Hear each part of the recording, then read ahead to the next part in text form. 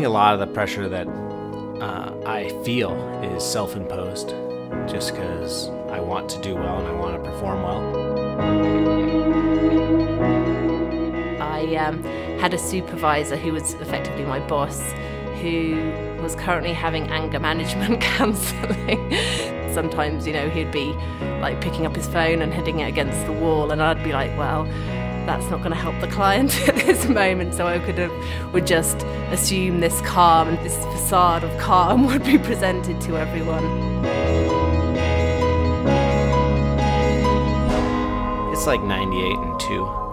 98% comes from me, probably 2% comes from the outside.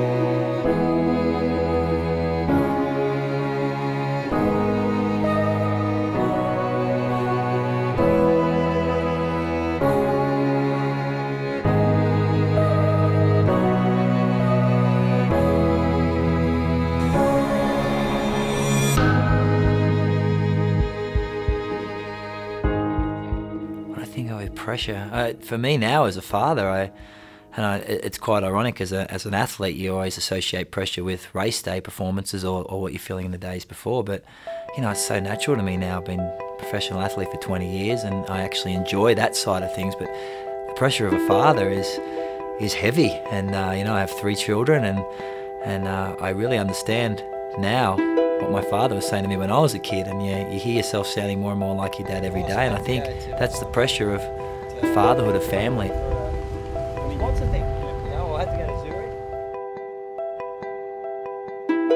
I think becoming a, a, parent, anyone would tell you who's a parent, it changes you. People always said to me, oh, it must have been so much more pressure when, when you, our daughter Lucy came along.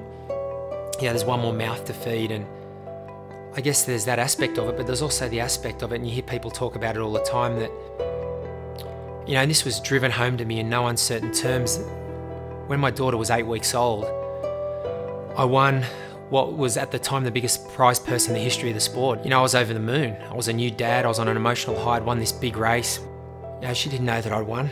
Um, and I think that's when it, it, it, really it hits home that, that that sort of unconditional love you get as a parent.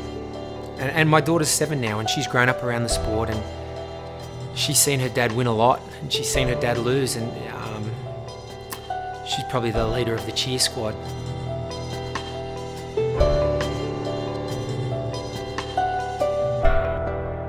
I feel a bigger um, load of pressure when it comes to showing my kids and my family of how to be an athlete, how to be a role model, how to be um, a performer, how to be a sportsman.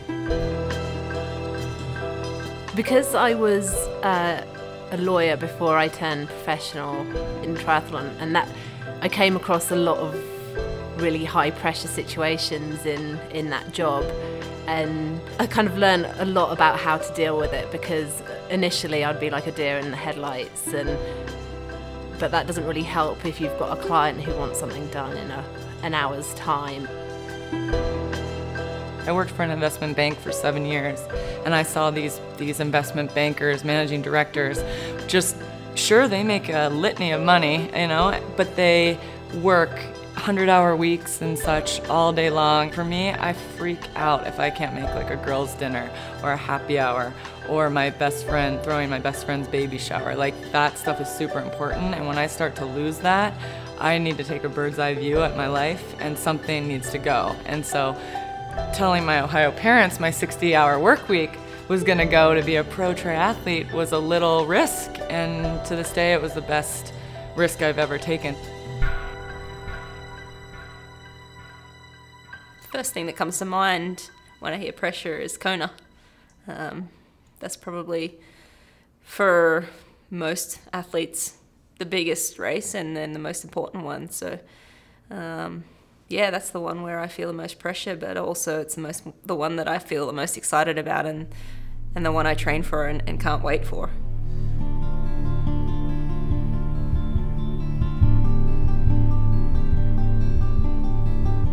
I don't know if it's the mindset in the person. about pressure or if they can just if they have the ability to, to push it aside, you know, push all the out, outside interference away from them, away from themselves, and just focus on what they need to do to get get the job done. Pressure's not a big deal to me. Um, then I'm not like the reigning Kona champion, so I don't. I think just for that reason, I don't have a lot of pressure uh, or expectation on me. As opposed to some other athletes. There's no doubt. I mean, you're only human. You're going to feel pressure. You're going to feel expectation. You know, I think it's fair to say a lot of athletes, the expectation they put on themselves is greater than the external pressures or expectation, and, and I'm no different to that. No one can be your biggest critic but yourself. You know what work you've done. You know how well you've done it. You know if you've left any stones unturned. And I think we're all sort of striving for perfectionism. That's a personality that all of us as triathletes share in common. I'm still really hungry to get back to Kona. It's what I'm thinking about all day, every day.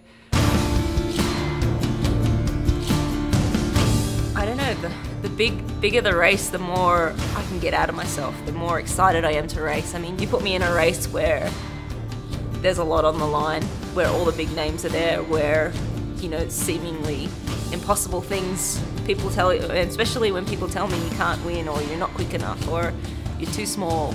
Um, you tell me those things, and I'll find a way to prove you wrong. You know, pressure is a funny word, and uh, you know, I, I think uh, you know, it's probably the wrong word when, when I think of how I go about things. I think uh, responsibility is a better word, and, uh, and, uh, and, and I take on the responsibility as a father and a professional athlete very, very seriously. You know, the foundation of a great outcome or success, whatever you want to call it, it, it starts months and months before race day. And it's a twofold thing. Not only does that prepare you, I think, physically for the race, I think it prepares you mentally, knowing that you've done what you can. And that takes away a lot of the pressure.